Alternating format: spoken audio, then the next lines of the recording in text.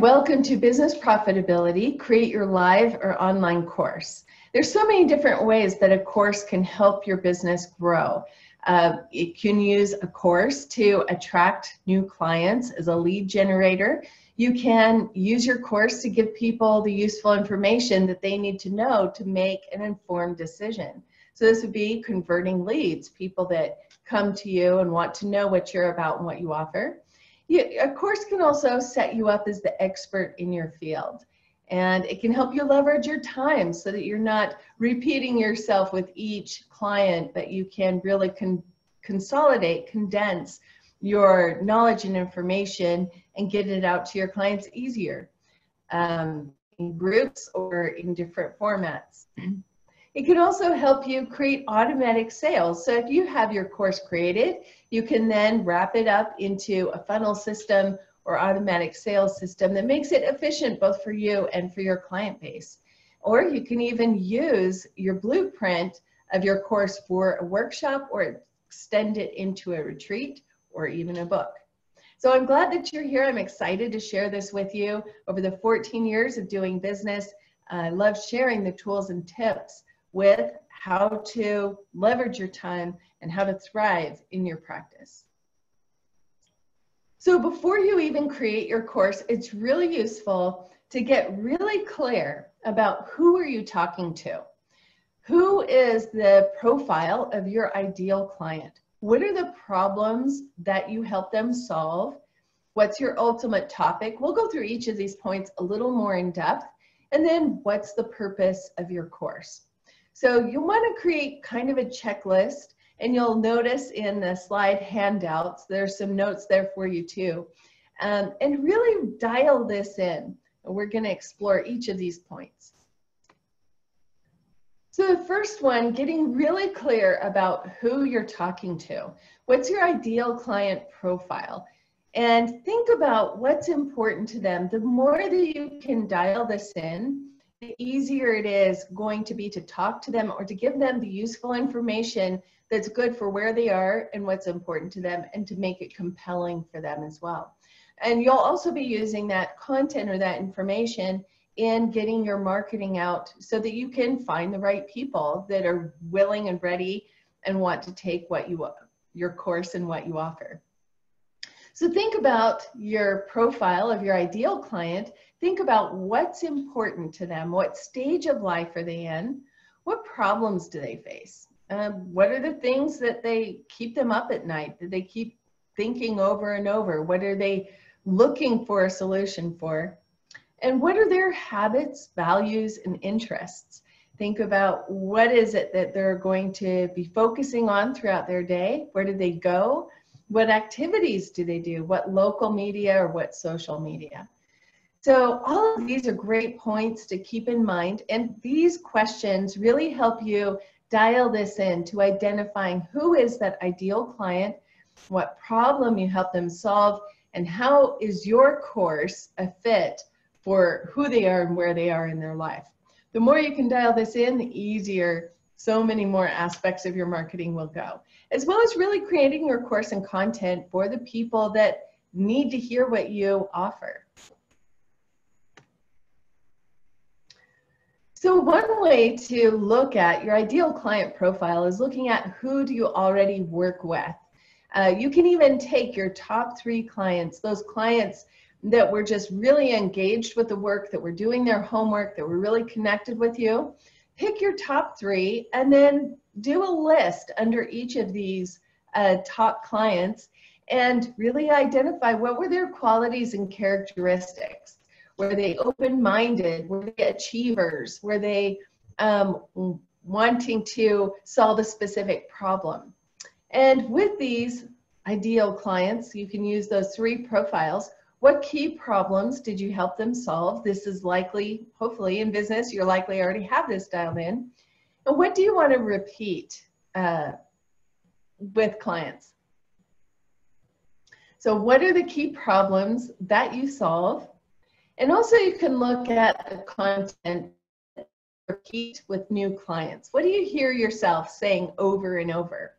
And then what do your clients need to know in order to work with you or take the next step with you? And then finally, what will the course do for your clients? And the more that you can outline these things, especially what will the course do for your clients, one, you want to keep that as the checklist of making sure that you're delivering what you offer. But also, this becomes part of your marketing how you get the word out and how you talk about your course so that the right people can find you, resonate with your copy and what you're saying, and make the commitment to work with you. So now we're going into what's your ultimate topic? What are you going to create this course about? Maybe you already have an idea or already have a topic that you want to flesh out into a course. If you don't already have a client base, I want you to consider these questions as they can really help you dial in and clarify your ultimate topic. So the first question, what are you passionate about? What have you already overcome or conquered? When you think about what you're passionate about, often what you're passionate about is also what you have already overcome or conquered. Often there's a lot of crossover between those two questions. But think about what gets you excited, what lights you up, what can you talk about for hours and not get tired of. Uh, maybe there's even certain topics that people have seen the excitement on your face so that you're lighting up when you're talking about that topic. So pay attention to those things. The next one, you might have a defined sense of your purpose, mission, and vision. And also in the Discover Design You course, I go into a little more in depth with that purpose, mission, and vision, as well as developed a hypnosis process to bring that awareness from your deeper layers of your mind to your conscious mind. Your unconscious mind already knows what that is, um, so it can help bring that forward. And then what topic could you speak a hundred times or more without tiring? So this is really useful. If you're building a course, if you're gonna be marketing this, creating this um, in your community, in your environment, ideally it would be the same topic that you could go and speak in multiple different places to get this information out or get the word out about what you do and what you're offering. So think about what is it you are going to be excited to speak on again and again and again, because that's a, definitely a way that we market. And then the last one, what would you like to learn more about? Uh, so for any topic that you're going to pull together into expanded content, whether it's an online course or a book, at some point you're going to want to flesh it out with more research. So that means that you're going to be diving in and learning more about that topic. So that can also be an area to focus is to recognize what areas do you want to learn more about. You can take a blank page and divide it into three parts. And at the top of those three parts, you know, holding it long ways, go ahead and write purpose uh, under one. And your purpose often is also connected to what you've already overcome or learned or conquered in your life. And then another column for what are you passionate about, and another column for what would you like to learn more about. And as you're kind of writing out these three columns, start looking for crossover. Start looking for um, those reoccurring themes between those that brainstorm list. This is also a really great way to just brainstorm, especially I do this when picking a new title or a topic is to write out that title or the concept and then as many different words that you really like that describe that that concept so these are really great ways to dial this in. Um, so you may already have your ultimate topic which would be great especially if you've been in business for a while. You might know about more of that client profile of who you want to connect with and how you want to help them move forward. Now, the next question to really dial in is what will the course do for you? What will the course do for your business as well as what it's going to do for your clients? So you're going to use the content around what it's going to do for your clients for the marketing of your course to get the message out there. But what's it going to do for you? You're going to be investing time, energy, and money into setting up this course and quite possibly, um, you know, getting it available in different formats or different places so your course, you want to start with the end in mind. What is the result that you want to see from your course? Uh, and we call this a call to action, which is what is that next step after the course? So after people have gone through the course, maybe your course is one and done, people go through and then that's it. But there's really a way to monetize your course even after people have taken the course. So, right, so it's not just one and done.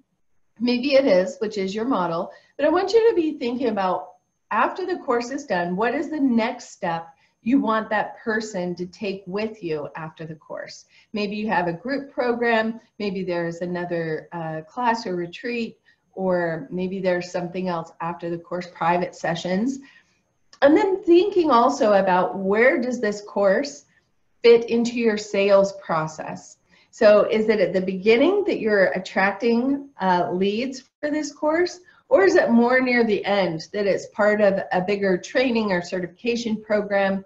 And how does that fit into your process? So keep this in mind, but also really dial this in even before you get started because it's going to make a big difference for you in the results that you get and what you're having your course do for you. What will the course do for you? I want you to get clear about this before you get started. What's the goal of your course? Are you attracting new clients? Is it the email opt-in where you sign in here and get the online, you know, seven-day e-course? I have one set up at my Lighter You system. What will the course do for you? What's the goal of the course? Is it to attract new clients? So that's the email opt-in. People give you their email and then they get enrolled into maybe a short course.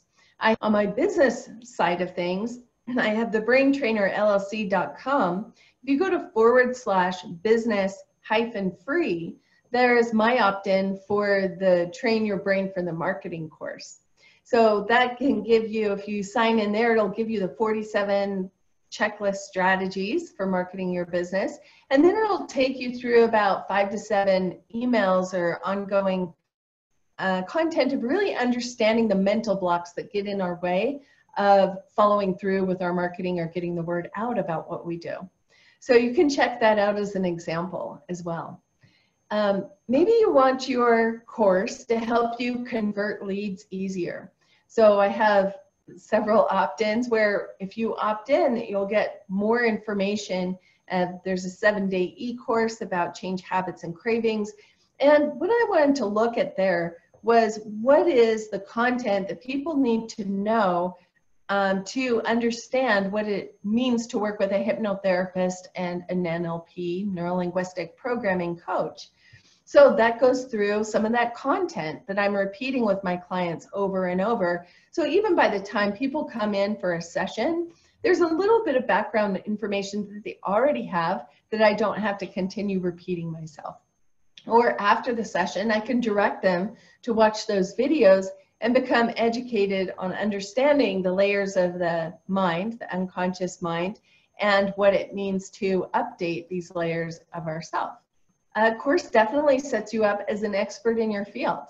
Uh, you can use it on your email tagline uh, at the bottom where you have information there. That can be a great way to uh, connect with people that you're networking with in sending those emails. And your course can also help you leverage your time. So instead of talking one-on-one, now you can bring your people together that are all working on the same topic or wanting the same momentum in their life and leverage your time through this course. And then also you can use your course as part of creating your automatic funnel, your automatic sales system.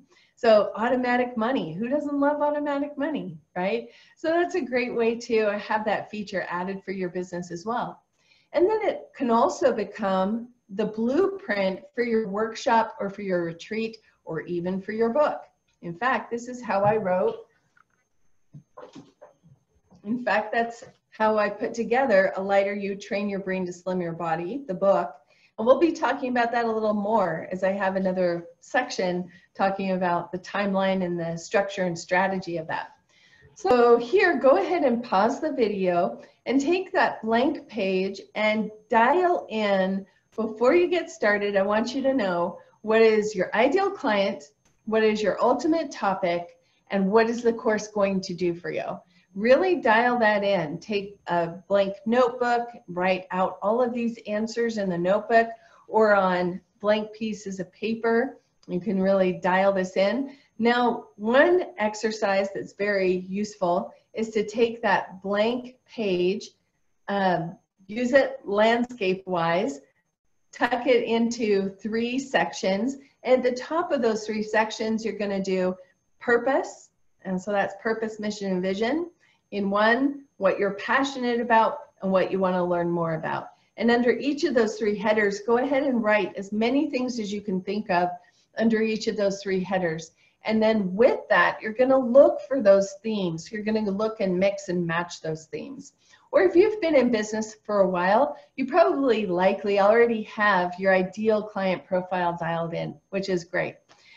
So take the time to pause this video, dial this in. Before you get started, what do you need to have figured out to make sure that the time and energy you put into creating your course is really going to pay you back and really um, that you can monetize that in a way that's good for you and your business, as well as for the people that you're serving.